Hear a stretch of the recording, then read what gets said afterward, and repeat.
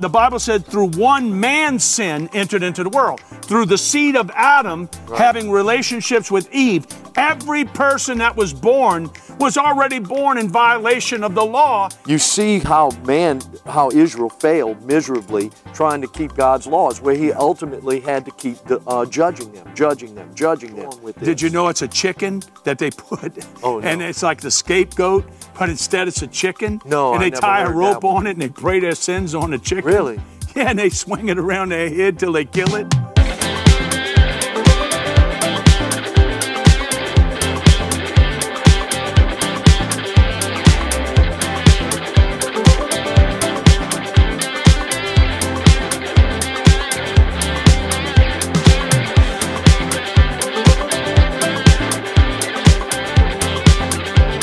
Pluck your eye out in your hand because you're going to hell. Because you can't go to he- uh, heaven by self righteousness. Right. And Jesus said, Your righteousness has to exceed that of the Pharisee. The exceeding righteousness is the imputed righteousness of Christ. Right, which he obtained by fulfilling the law. That that was his whole purpose. 100%. And when he was, he, that's why he was born under it. He knew that man couldn't do it. He knew that you and I could not live it. He knew they couldn't live it. And and you see throughout the whole. Uh, the, the scriptures in, uh, in the Old Testament, in the, in the Old uh, Covenant and throughout the whole Old Testament, you see how man, how Israel failed miserably trying to keep God's laws, where he ultimately had to keep the, uh, judging them, judging them, judging them. And, the, Right. and so as a result, Jesus seeing that man could never fulfill it, that was his whole plan. He had a plan tucked in his heart that when man fell, that he was going to send Can, can I ask you a question? Okay, I'm going to ask you. It's not a trick question. It's mm-hmm. not to put you on the spot. It's just a simple question. Was it the Passover lamb that forgave their sins for the next year? Okay, or was it keeping the law that made their sins go away? Oh, it was the Passover lamb. There you go. So here's the point people fail to see that before God gave them the poison, and that when I use that lightly, the law that would condemn them, He made a provision of an antidote that if they killed the lamb at the paschal lamb, they brought Right. the, the household lamb and they offered it for the upcoming year, their sins were forgiven. And you know, the paschal lamb, Pastor, in, in according to the old covenant and the laws that were established there for the sacrifices, there was a number of things that had to be met, requirements, standards that had to be met. And they would bring the lamb, and the priest would have to examine that sacrificial lamb to make sure there were no blemishes. He couldn't have a crook nose, couldn't have a crook back, couldn't have one limb broken, couldn't have nothing. Everything had to be perfect on that lamb because it was going to be offered to God, and they didn't want to go in with an offering. The priest did, and the high priest didn't want to go in with an offering. They couldn't. They- couldn't. God, you know, they would be in trouble, and they knew the ultimate end of that. So they examined that lamb.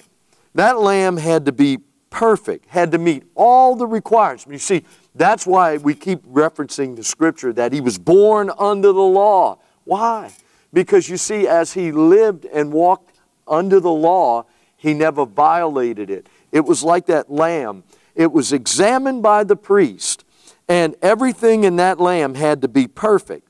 Well, when he walked under the law and never sinned, crossed every T, dotted every I, never violated the law, what he was doing is that the law itself was examining his life and who he was and never could find fault in him. Right. And then he became the sinless, spotless, perfect Lamb of God. He was qualified by living under the Now- law, now, which Bill- man couldn't do. Yeah, Pastor Bill, we got to qualify this because here's where people miss it. Because I heard years ago, and man, I, I knew it was blaspheming when they said it. They tried to talk about Jesus dying spiritually. Now, I'm not going to open up that can of worms for nothing, okay? Until maybe later in the program, we'll do a Yeah, whole program a- on it. that's- yeah, that's not in the line of where we're going here. Right. But here's my point the comment was made the only difference that Jesus made from every other prophet, he made the statement every other prophet could have shed their blood to atone for their own sins. Okay? But what Jesus did, he had to go to hell and suffer as a sinner. Wait, uh, no, no, listen to me now. The reason why only Jesus could die for our sins was because of the virgin birth, Right. because the DNA that came from the Holy Spirit, the male, uh, the Bible said, through one man's sin entered into the world. Through the seed of Adam having relationships with Eve, every person that was born was already born in violation of the law and couldn't keep it by nature, couldn't keep it if they tried. If they did keep it, it would still disqualify Right. them because of the tainted blood. Jesus' blood came from the Father through the Holy Spirit, and the DNA made him no different than Adam without original sin. Therefore, he could qualify to keep the law and never taint his blood one bit. Isn't that beautiful? Oh, it is. It's beautiful, and that's that was the plan of God. That, and you know what? The the enemy didn't see that. He didn't see that uh, if the if the God of this world and they, they would have known that they were crucifying the Son of God, they'd have never killed him. No. because they because once he was smitten and, and crucified, that was to their demise. That was to the enemy's demise totally. Jesus was the final, complete sacrifice. You know, Pastor, this is something that we, we went to, to Israel about a, a little over a year ago, and it, it was a great trip. We had a wonderful time and everything. But I remember being on the, on the flight there, and uh, at, when the sun started coming up while we were in, in mid flight, um, all of the Jewish persons, that people that were on the, the males, they stood up, they started wrapping all their little prayer boxes and putting their phylacteries on and, and putting their stuff on and their, their little prayer shawl and whatever, whatever the garments were. And they started standing up on a plane doing their thing, you know. And, you know, one thing I got to hand it to them, they're dedicated, they're committed, and they, they take what they do very serious. Um, later, I had an opportunity to speak with one of them. And one of my main concerns was okay, you have no Ark of the Covenant now.